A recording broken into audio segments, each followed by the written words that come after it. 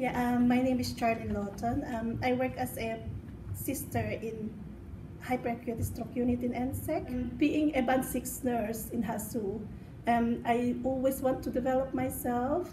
So I joined a leadership program, which is the Mary Seacole program, which my manager encouraged me to do.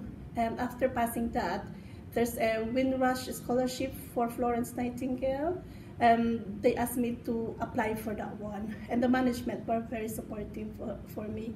Um, we, I think 500 plus people applied for that uh, scholarship, and only 44 of us was accepted. Um, it is a very proud moment for me. Um, it's showing that yes, I came from a BAME background, but still we can do something about it.